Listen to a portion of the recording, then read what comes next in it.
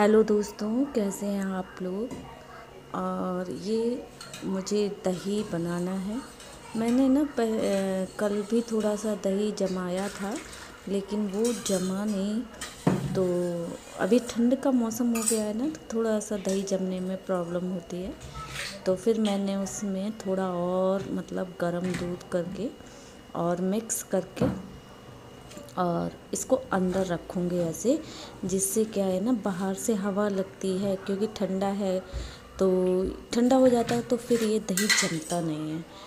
तो इसीलिए मैंने इसके अंदर रख दिया, जिससे क्या है, ये थोड़ा थोड़ा गर्म बना रहेगा तो फिर ये अच्छे से दही जम जाता है, बन जाता है। इन दोनों में थोड़ा सा दही जमाने में वैसे तो अच्छे जम जाता है, लेकिन कभी कभी हो जाता है कि नहीं नहीं बन पाता दही। तो बस वही मैंने कल बनाया था, पता नहीं क्यों नहीं बना। और आज मैंने फिर उसमें और, क्योंकि फिर वो ख़राब ही हो जाता, एक दो दिन लगते बनने में तो फिर दूध ना वो कड़वा हो जाता। फिर वो बिल्कुल भी फेंकना ही पड़ता। और इतना महँगा आजकल दूध आता है, कुछ कहने को नहीं। तो फिर मैंने उसमें और थोड़ा दूध काफ़ी गर्म करके उसको अच्छे से उबाल कर जिससे क्या है कि सारा जिस दही में बनाने वाले दूध में मिलाऊँगे ना तो वो भी थोड़ा सा गर्म हो जाए तो उसी में मिक्स कर दिया था। और उसको रख दिया है तो वो फिर अच्छे से जम जाएगा। मतलब अंदर की, अंदर रख दिया जिससे उसको बाहर की हवा ना लगे। तो बस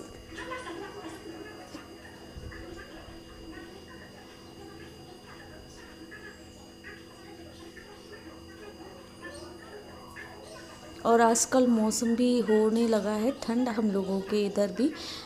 थोड़ा थोड़ा सा ना सुबह जो धुंध होती है, वो होने लग गई है।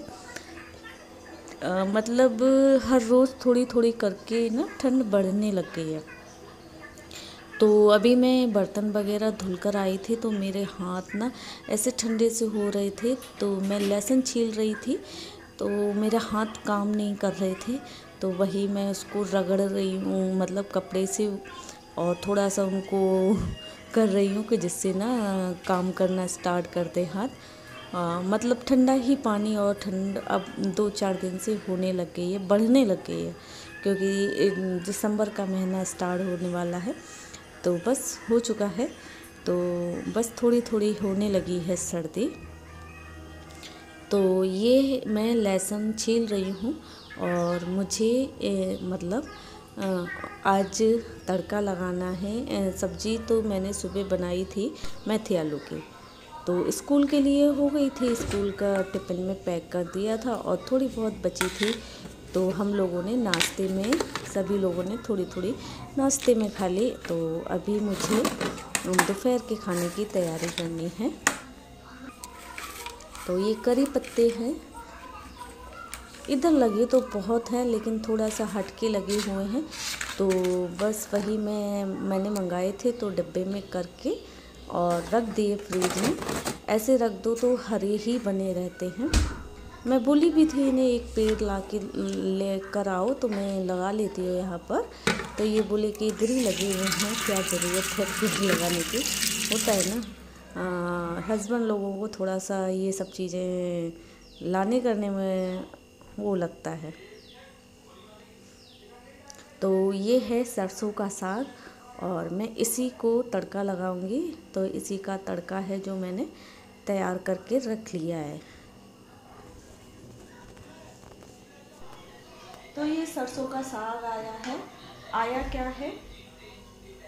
और ये मैंने तड़का है जो वो तैयार कर लिया है। और मैंने मतलब दो बार तो बना चुकी हूँ सीज़न का, इस सीज़न में साग। और ये आया है। मेरे हस्बैंड ने मांगा है। मतलब उन्हें एक उनके फ्रेंड है तो उनकी मम्मी बनाती हैं तो बहुत अच्छा बनाती हैं तो उनसे मांगा है। मतलब मांग मांग कर खाते हैं। क्या बताऊँ? तो होता है ना, जो बुज़ुर्ग लोग होते हैं, उनके हाथ में स्वाद अलग ही होता है, उन्हें ज़्यादा, हम लोग क्या करते हैं, बनाते तो हैं, लेकिन उतने अच्छे तरीका से नहीं बना पाते हैं। जैसे वो लोग बनाते हैं। हम लोगों को जल्दी जल्दी होती है तो हम कुकर में बना लेते हैं, और वैसे भी बताऊँ, चूल्हा वूल्हा है नहीं मेरे पास, और तो फिर कुकर में ही बनाना पड़ता है। और वो लोग बनाते हैं चूल्हे पर, और शायद मिट्टी का जो घड़ा टाइप में नहीं आता है तो उसमें बनाते हैं। तो इसलिए ये साग जो उनके घर पर बनता है, इतना टेस्टी इतना स्वाद बनता है, कुछ कहने को नहीं। तो ये मेरे हस्बैंड ने मांगा है उनसे। उन्हें बोला था और मतलब साल में जब साग का सीज़न आता है, तब वो दो तीन बार उनसे मांग कर ही खाते हैं। बहुत अच्छा होता है। वैसे हम लोग तो पंजाबी नहीं हैं तो बनाते हैं और अच्छा भी लगता है जो हम बनाते हैं, लेकिन जो ये बनाते हैं ना, पंजाबी हैं वो, और वो बनाते हैं, जो वो मिट्टी के घड़े में बनाते हैं ना, उसका स्वाद बहुत अलग होता है। मतलब वो उनका देसी तरीका होता है बनाने का। और हम लोगों के पास चूल्हा चाला है नहीं मतलब लकड़ी वाले जलाने के और जगह भी नहीं है ऐसी जहाँ बैठ कर मतलब लकड़ियों का इंतज़ाम तो हो जाएगा यहाँ पे लकड़ियाँ तो मिल जाती हैं लेकिन ना चूल्हा रखने की जगह नहीं है। तो इसलिए और उन्होंने बनाया है चूल्हे में तो आज मैं आ, ये आ गया है तो इसको ही तड़का लगाने जा रही हूँ और इसके साथ बनाऊँगी मक्की की रोटी क्योंकि सरसों के साथ साग के साथ, मक्की की रोटी ही फ़ेमस है। और दही है नहीं, लस्सी बनाने के लिए। नहीं, लस्सी भी बहुत अच्छी लगती है जब भी खाओ तो। तो अभी तो मैं इसमें तड़का लगा लेती हूँ।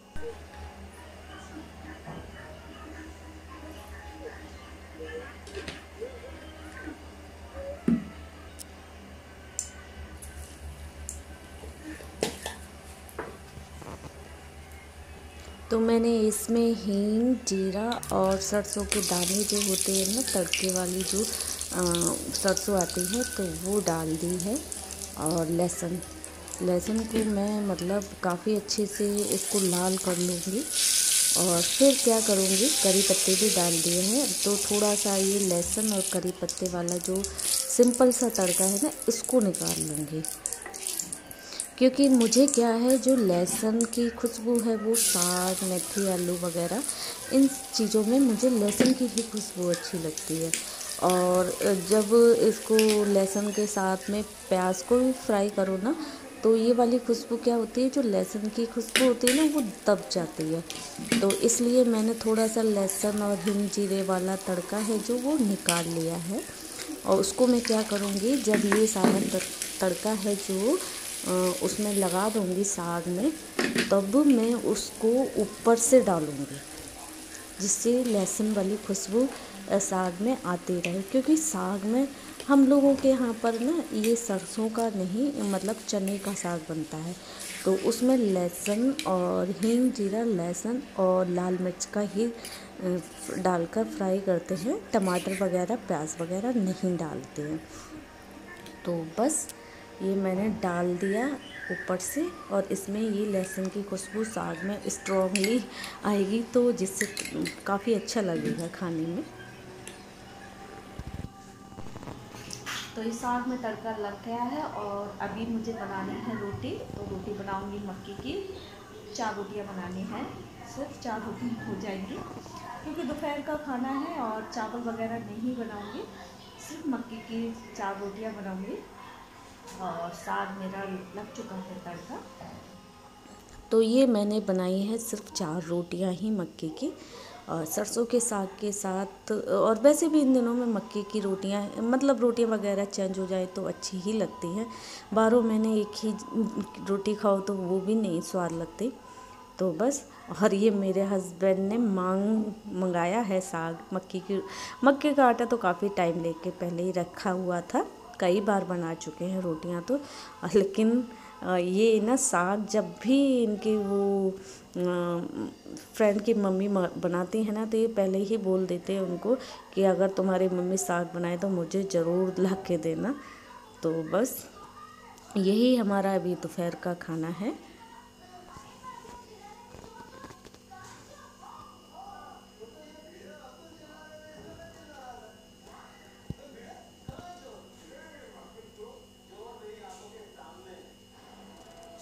तो अभी था शाम का टाइम तो मैंने बनाई थी चाय और बच्चों को खाना था उपमा तो वही बनाया था थोड़ा सा, थोड़ा थोड़ा मतलब अभी क्या है, मटर वगैरह चल गई है तो मटर वगैरह डाल के उपमा बनाओ तो काफ़ी अच्छा लगता है खाने में। और मूंगफली वगैरह के दाने हम लोगों के घर में किसी भी चीज़ में बहुत कम पसंद करते हैं। पोहा वगैरह में भी नहीं खाते हैं, साबुदाना वगैरह में भी नहीं डालते हम लोग मूंगफली के दाने।